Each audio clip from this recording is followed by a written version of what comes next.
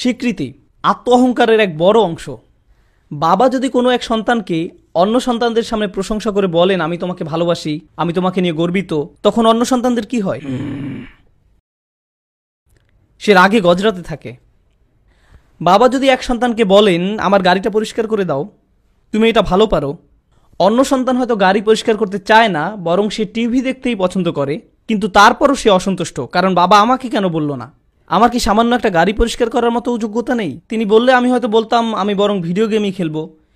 কিন্তু ঘটনা হলো, তিনি আমাকে সামান্য জিজ্ঞেসও করলেন না। এটা তো আমার মনে আঘাত দিচ্ছে। বুঝতে পারছেন? এখানে স্বীকৃতি পাওয়ার তীব্র বাসনা কাজ করেছে। আপাত দৃষ্টিতে আমরা দেখছি, ইবলিস নিজেকে বড় বলে প্রচুর স্বীকৃতি চাইতো। কার কাছ থেকে? আল্লাহ আজ্লাহর কাছ থেকে। যদিও এর সাথে দায় দায়িত্ব পালনের ব্যাপার জড়িত, এটা কোনো পুরস্কার বিতরণের অনুষ্ঠান নয়। সে পৃথিবীতে রাজত্ব পাবে বা যা চায় তাই পাবে। প্রকৃতপক্ষে দুনিয়াতে মানব জীবন সম্পর্কে আল্লাহ বলছেন, লাকাদ খলাকনাল ইনসানা ফি কাবাদ। নিশ্চয়ই আমি মানুষকে শ্রম নির্ভর রূপে সৃষ্টি করেছি। নিজেকে আর নিজের পরিবারকে বাঁচিয়ে রাখার জন্য মানুষকে প্রতিনিয়ত পরিশ্রম করতে হয়। দুইটা বাড়তি আয়ের জন্য, সবার সাথে সুসম্পর্ক বজায় রাখার জন্য, এসব সহজ কাজ না। তারপরও আদমকে যে স্বীকৃতি দেওয়া হয়েছে, তা ইবলিস সহ্য করতে পারেনি। অন্য থেকে বড় বলে স্বীকৃতির তীব্র তৃষ্ণা মানুষকে শয়তানে পরিণত করতে পারে। ঘটনা প্রসঙ্গে উল্লেখ্য যে এটা সেই একই স্বীকৃতির তৃষ্ণা যার ফলে মানব ইতিহাসের প্রথম হত্যাকাণ্ড হাবিল এবং কাবিলের মাঝে সংঘটিত হয়। সুরা আরাফে বর্ণনা করা হয়েছে, আর এই প্রথম হত্যাকাণ্ড টাকার জন্য হয়নি এটা সম্পত্তির জন্য হয়নি, বা এরকম কোনো কারণে নয়। সুরা আরাফে বর্ণনা করা হয়েছে, এটা ঘটেছে তখন একজনের কোরবানি গৃহীত হয়েছিল এবং অপরজনেরটা গৃহীত হয়নি। একজনেরটা স্বীকৃতি পেয়েছিল অন্যজনেরটা পায়নি। লক্ষ্য করুন, সেই একই হিংসা এখানে কাজ করেছিল। কোন কারণ হজরত ইসুফ আলাহিসাল্লামের ভাইদের মারাত্মক প্রতিহিংসা পরায়ণ করে তুলেছিল যে তারা তাকে কুয়ায় নিক্ষেপ করেছিল? তারা তো তাকে প্রায় খুনই করে ফেলেছিল। সেখানে তো সাপ বিচ্ছু থাকার কথা। সেটা ছিল ভীষণ দুর্গম কোনো প্রান্তরে নির্জন একটা গর্ত। তবুও তারা তাদের ভাইকে সেখানে ফেলে দিয়েছিল। জানেন কেন? কারণ তিনি তার বাবার কাছ থেকে যে স্বীকৃতি পেয়েছিলেন, তা অন্য ভাইদের তার প্রতি হিংসাত্মক করে তুলেছিল। এখন এই স্বীকৃতি জিনিসটাকে আপনারা ভালো করে বোঝার চেষ্টা করুন। যখন আমরা আত্মমর্যাদা সম্পর্কে চিন্তা করি, তখন আত্মমর্যাদাকে অর্থবিত্ত, প্রতিপত্তি, ক্ষমতা ইত্যাদির সাথে যুক্ত করি। আমি বলি কি, এই সব বিষয় মানুষের স্বীকৃতি পাওয়ার আকাঙ্ক্ষার কাছে খুবই তুচ্ছ ব্যাপার। শয়তান আপনার ভিতর প্রশংসা পাওয়ার স্বীকৃতি পাওয়ার, দৃষ্টি আকর্ষণ করার তীব্র একটা আকাঙ্ক্ষার বীজ বপন করে। আপনি অনেক লোক পাবেন, এমনকি ইসলামের নামে, এবং এটাই সবচেয়ে আতঙ্কজনক ব্যাপার। এমন মানুষ যারা মসজিদের জন্য কাজ করেন, আর মসজিদের জন্য কাজ করা কোনো আরামের কাজ নয়। জোনিং এর জন্য আবেদন করা, পার্কিং লট মেরামত করা, কন্ট্রাক্টরদের সাথে কথা বলা, অজুর জায়গা রক্ষণাবেক্ষণ করা, আর অনেক কিছু এগুলো কোনো মজার কাজ নয়। কিন্তু এমন লোক আছে যারা চাকরি থেকে সময় বের করে, পরিবারকে পিছনে ফেলে রেখে মসজিদের বোর্ড মেম্বার হন ভলান্টিয়ার হন কিংবা টাকা খরচ করবেন, এজন্য সুরা মিটিংয়ের পর সুরা মিটিং, সুরা মিটিংয়ের পর সুরা মিটিং করে যান। কি কি উদ্যোগ নেওয়া যায়, কোন কোন জায়গায় মেরামত করতে হবে। এদের মধ্যে এমন কাউকে পাবেন যে বিত্তশীল, তার ভিতর এই শক্ত মনোভাব কাজ করে যে আমাকে মসজিদের প্রেসিডেন্ট হতেই হবে। আরে ভাই, আপনি তো হয়তো ইতিমধ্যে আপনার ডিপার্টমেন্টের প্রধান। অথবা ডাক্তার, যার পিছনে নার্সরা আদেশের অপেক্ষায় থাকে। এই অবস্থা যে কারও ব্যাপারেই হতে পারে। উপরন্তু আপনার ঘরের প্রধান আপনি।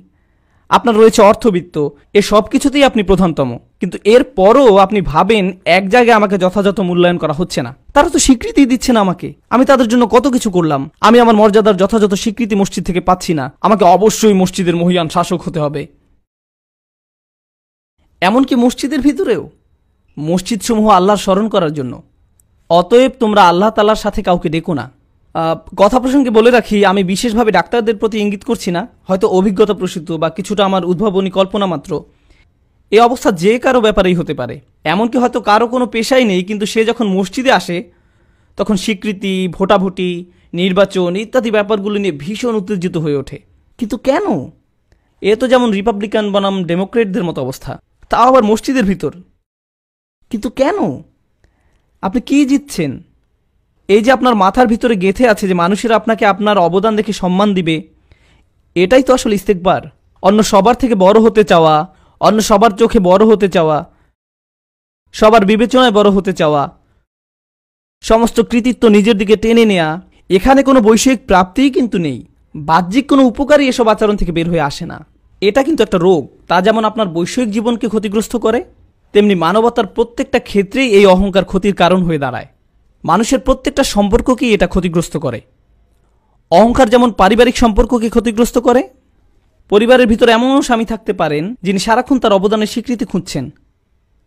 তিনি সারাক্ষণ রাগ ঝেড়েই যাচ্ছেন, আমি তোমাদের জন্য এত কিছু করলাম, আর তোমরা আমার কোনো মর্যাদাই দিলে না। সর্বশেষ কখন তোমরা আমাকে ধন্যবাদ দিয়েছিলে তিনি যেন সারাক্ষণ স্বীকৃতির জন্য উত্তেজিত। তিনি যেন নিজের সামান্য এক ঘরের অ্যাপার্টমেন্টের মধ্যেই একজন ফেরাউন। শুধু ফেরাউনের মতো আয়না রব্বুকুমুল্লা আলা, আমি তোমাদের একমাত্র পালনকর্তা, এমন ঘোষণা দিয়েই বাকি আছে। আপনি হয়তো এক ডিপার্টমেন্টে কাজ করেন, সেখানে মাত্র পাঁচ ছয় জন একত্রে কাজ করে। আমি নিশ্চিত এমনও সামান্য কাজ আছে, যা হয়তো আপনি খুব ঠেকে না গেলে করবেনই না। যেমন পরিচ্ছন্নতা ডিপার্টমেন্টের ট্রাকে একজন সামনে ড্রাইভ করেন, অন্যজন পিছনে ঝুলে থাকেন, যিনি আবর্জনা কুড়িয়ে ট্রাকে ভরেন।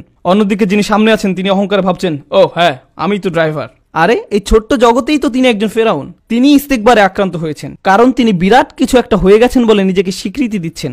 এই ইগো বা আত্মহমিকার প্রতিযোগিতা আপনার অফিসের ভিতর, আপনার ডিপার্টমেন্টের ভিতর, আপনার টিমের ভিতর, বিভিন্ন টিমের ভিতর, এমনকি এটা বিভিন্ন ব্যবসা প্রতিষ্ঠান সমূহের ভিতর ছড়িয়ে পড়ে। অন্যদিকে এই আত্মহমিকার প্রতিযোগিতা পরিবারের ভিতরে, এমনকি আপন ভাই বোনদের ভিতরেও কাজ করে।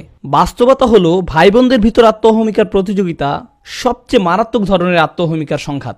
এজন্যই মানব ইতিহাসের সবচেয়ে বড় পতন হজরত আদম আলাহিসাল্লামের বেহেস্তে নিষিদ্ধ ফল খাওয়ার পাপ করার পরে দ্বিতীয় যে বড় পাপ ইতিহাসে ঘটেছে, তা হলো আপন সহদরদের ভিতরে সংঘাত, হাবিল এবং কাবিল। এটাই মানব ইতিহাসের দ্বিতীয় পাপ আর সর্বপ্রথম হত্যা। আর এর মূল কারণই হলো পারস্পরিক হিংসা। কোনো এক সন্তান ভাবে অন্যজনের উপর বাবার সমস্ত আগ্রহ চলে গেছে। অন্যজনকে বাবাকে আমার থেকে বেশি ভালোবাসে? এজন্যই সে বেশি লম্বা। অথবা সে বেশি ভালো স্কুলে যায়, অথবা ভালো গ্রেড পায়।